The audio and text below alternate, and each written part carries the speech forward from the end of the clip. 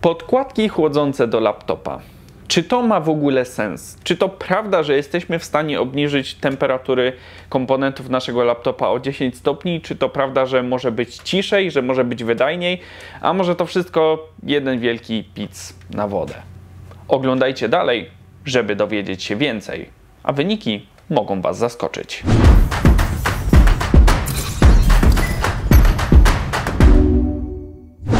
Hej, cześć, witajcie. Z tej strony z Maslo. Będę z Wami w 100% szczery. Ja zawsze do podkładek chłodzących do laptopa podchodziłem trochę jak pies do jeża. W sensie, na zdrowy rozsądek, oczywiście tak, powinno to coś nam dać. Tylko pytanie, czy rzeczywiście różnice w temperaturach będą na tyle duże, żeby faktycznie tym tematem się interesować. I o tym dzisiaj dowiecie się z tego filmu. Przetestuję dzisiaj dla Was cztery różne podkładki na trzech różnych laptopach. I powiem Wam już tu i teraz, że wnioski są naprawdę dość interesujące. Ale po kolei przejdźmy najpierw do samych podkładek. Ceny, do których ja będę się odnosił, są na moment publikacji tego materiału, ale weźcie pod uwagę to, że ceny oczywiście mogą się zmienić. Dlatego w opisie tego filmu będziecie mieli link do omawianych przeze mnie podkładek i ich aktualnych cen. Pierwszej kolejności mamy podkładkę firmy Natek Deeper. Jest to najtańsza podkładka w zestawieniu, która ma jeden duży wentylator i niebieskie podświetlenie. Podłączamy ją do naszego laptopa za pomocą złącza USB, a i na podkładce mamy też dodatkowe złącze USB 2.0, w sensie taki hub USB. Kąt nachylenia podkładki możemy regulować za pomocą takiej metalowej nóżki, a także mamy dwie klapki, które możemy postawić, aby laptop nam się przypadkiem z podkładki nie zsunął. Jakość wykonania, cóż, no pozostawia sporo do życzenia, no ale czego oczekiwać tutaj po gadżecie do laptopa za okolice 50 zł? No trzeba być realistą. Kolejna podkładka w zestawieniu to Tracer Snowman. Podkładka, która ma dwa mniejsze wentylatory, po raz kolejny niebieskie podświetlenie, jednak reszta jest, mam wrażenie, niemal identyczna jak w poprzedniku. Mamy ten sam hub USB, ten sam włącznik, bardzo podobne klapki na froncie i mechanizm regulacji kąta nachylenia. No i niestety jakość wykonania po raz kolejny jest adekwatny do ceny za 50 zł. Kolejną podkładką jest Genesis Oxid 550. Ta wyceniona na blisko 160 zł podkładka ma z kolei jeden duży wentylator i cztery pomniejsze. Powierzchnia chłodząca wydaje się być tutaj naprawdę bardzo duża. Ta podkładka nie posiada huba USB, kąt nachylenia możemy regulować podobnie jak w poprzednikach za pomocą ruchomej nóżki. Moje zastrzeżenie natomiast budzą te gumowe nóżki na froncie, które mają zapobiegać suwaniu się laptopa, bo są one bardzo wysokie i grube. W zależności od laptopa, jakiego będziecie użytkować na takiej podkładce, mogą być one po prostu irytujące. Podkładka Genesis jest jednak moim zdaniem dużo, dużo lepiej wykonana niż zdecydowanie tańsi poprzednicy. No i ostatnia podkładka w zestawieniu jest zdecydowanie największa i też najdroższa, bo kosztuje blisko 250 zł. Ma tylko jeden duży wentylator, nie posiada huba USB, jednak w oczy rzuci się tutaj pasek RGB, który ma różne tryby podświetlenia i możemy nimi sterować za pomocą przycisków z tyłu. Co ciekawe, jest to jedyna podkładka w tym zestawieniu, która ma możliwość regulacji obrotów wentylatora za pomocą potencjometru. To na plus. Podkładka jednak nie ma możliwości regulacji kąta nachylenia. Posiada tylko plastikowe nóżki, które należy rozstawić przed użytkowaniem. Natomiast wykonana jest moim zdaniem najlepiej z całej czwórki. No dobra, ale co to za test podkładek bez laptopów? Otóż pomyślałem, że wezmę trzy różne laptopy, tak żebyśmy mieli trzy punkty porównania. Wiem, że duża część z Was korzysta ze starszego sprzętu, dlatego poprosiłem moją dziewczynę, żeby pożyczyła mi swój laptop. Jest to Lenovo IdeaPad Y580, który ma czterordzeniową i7 3630QM oraz dedykowaną kartę graficzną Nvidia GTX 660M. Jest to laptop z matrycą 15,6 cala. Od spodu, jak sami widzicie, nie ma zbyt wiele otworów, więc będzie on naprawdę ciekawym kandydatem do sprawdzenia. Wylot ciepłego powietrza z kolei znajduje się po prawej stronie pod klawiaturą. Kolejnym laptopem jest MSI Prestige 14. Jest to taki pomost pomiędzy laptopem biurowym, ultrabookiem, a laptopem do gier. No coś z tych trzech światów. Ma niskonapięciową i7 10710U, która ma 6 rdzeni oraz dedykowaną kartę graficzną Nvidia GTX 1650 Max-Q. Jest to laptop dość mały, bo ma matrycę 14-calową. Od spodu jednak, jak sami widzicie, ma dość spory wlot powietrza. No i co ciekawe, ten laptop w standardowym trybie pracy po otwarciu ekranu nieco się unosi, dając dostęp wentylatorowi do świeżego powietrza.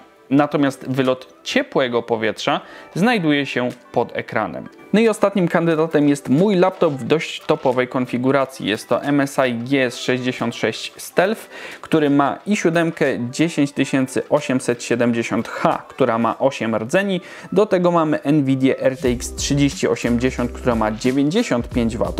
Jest to laptop z matrycą 15,6 cala. Ma bardzo dużą powierzchnię do zasysania powietrza od dołu, ale ciekawostka, zasysa on także chłodne powietrze od góry. Ciepłe powietrze jest natomiast wyrzucane pod ekranem oraz z dwóch boków laptopa. Ok, a jak sprawdzałem te laptopy? Otóż sytuacja wyglądała mniej więcej w ten sposób. Dwa nowsze laptopy testowałem w 3D Marku. Konkretnie uruchamiałem test TimeSpy stres test. E, działa on w ten sposób, że robi 20 pętli właśnie wcześniej wspomnianego benchmarku, no i na samym końcu wypluwa nam wykresy. Wyjątkiem tutaj jest e, starszy IdeaPad, który no nie bardzo chciał pociągnąć ten test, więc w jego przypadku obciążyłem procesor Prime 95, a kartę graficzną Furmarkiem. Do tego takim termometrem mierzyłem palm rest laptopa, czyli to miejsce, gdzie opieramy nasze dłonie, a także mierzyłem temperaturę klawiatury w okolicach przycisku WSDA, które najczęściej używa się do gier, oraz mierzyłem jeszcze temperaturę przy wylocie ciepłego powietrza. Na wykresie na czerwono widzicie temperaturę bez zastosowania podkładki chłodzącej, natomiast na biało temperaturę po umieszczeniu na podkładce. Temperatura w pomieszczeniu wynosiła 22 stopnie. No i już w przypadku pierwszej podkładki Nateka IdeaPad prezentuje dużo, dużo lepsze temperatury. Mówimy tutaj o redukcji 10 stopni na procesorze i 11 na karcie graficznej. Temperatura palm restu niewiele się zmieniła, natomiast temperatura klawiatury również uległa poprawie i to samo temperatura przy wylocie schłodzenia. W przypadku mniejszego laptopa MSI Prestige 14 po raz kolejny widzimy sporą poprawę. 10 stopni na karcie graficznej i 10 10 stopni na procesorze. No wow, są to wyniki, których naprawdę nie spodziewałem się zobaczyć na najtańszych podkładkach. A tu proszę niespodzianka. Podkładka na TK jednak dużo gorzej wypada w przypadku laptopa MSI GS66 Stealth, ponieważ mówimy tutaj o korzyści 4 stopni na procesorze i 2 na karcie graficznej. Co ciekawe, temperatura w okolicach klawiszy była nawet nieco wyższa po zastosowaniu podkładki. Podkładka Tracer Snowman prezentuje zresztą bardzo podobny schemat wydajności jak podkładka od Nateka. Widzimy tutaj poprawę w temperaturach, jednak są one ciut gorsze. W przypadku mniejszego laptopa MSI nieco lepiej jest w przypadku temperatur CPU i GPU. MSI GS66 Stealth nie ma praktycznie żadnej różnicy, jeżeli chodzi o temperaturę CPU, a po raz kolejny temperatura w okolicach klawiszy WSDA oraz palm restu się zwiększyła. Duże nadzieje wiązałem z podkładką Genesis, która ma aż 5 wentylatorów. Jednak testy pokazują, że wcale większa ilość wentylatorów nie musi oznaczać dużej poprawy w wydajności. W przypadku laptopa MSI również nie ma tutaj jakichś powalających wyników, oczywiście jest lepiej niż bez podkładki, ale wyniki nie są wcale lepsze niż na najtańszej podkładce. W przypadku laptopa GS66 Stealth wyniki są niemal identyczne, no i na sam koniec idzie Kolos, czyli podkładka Thermal Take'a. I co ciekawe, pomimo zastosowania tylko jednego wentylatora, okazuje się, że faktycznie ta podkładka poradziła sobie dobrze ze schłodzeniem, bo mamy dodatkowe zyski na temperaturze procesora i karty graficznej.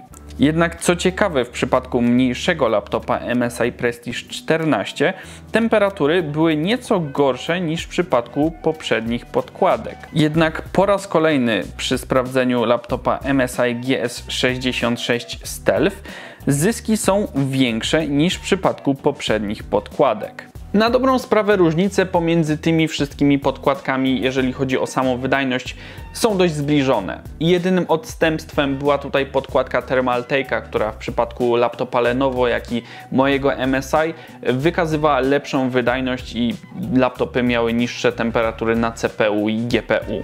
Ale po tych testach tak zacząłem się zastanawiać, a może wystarczy coś podłożyć pod laptop, może nie trzeba tutaj od razu podkładki chłodzącej. Dlatego pod każdy z laptopów podłożyłem taki fragment z klocka Lego po to, żeby laptop był nieco bardziej pod kątem